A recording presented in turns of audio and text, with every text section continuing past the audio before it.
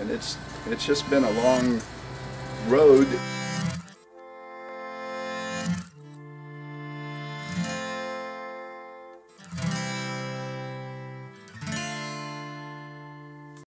How much longer will it take before Knights Landing ever really gets recognized for being a waterfront community? I can't afford to wait another 60 years.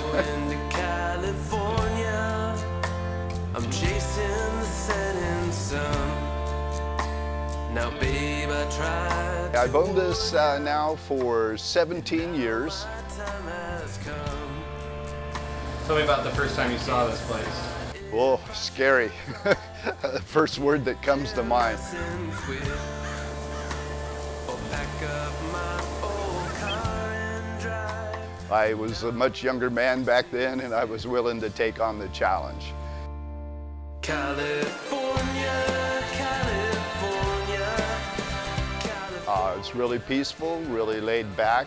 We couldn't be here without these big trees and the shade.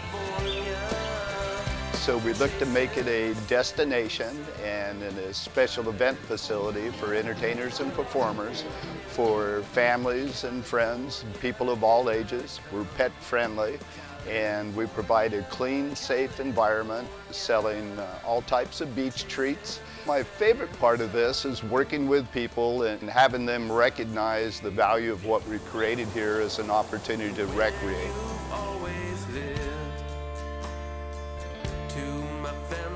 Uh, we're looking to evolve uh, the place even more, uh, expand the food and beverage service as well. The biggest thing I like about California is its proximity to everywhere. Within a two hour period, you could be in almost any environment.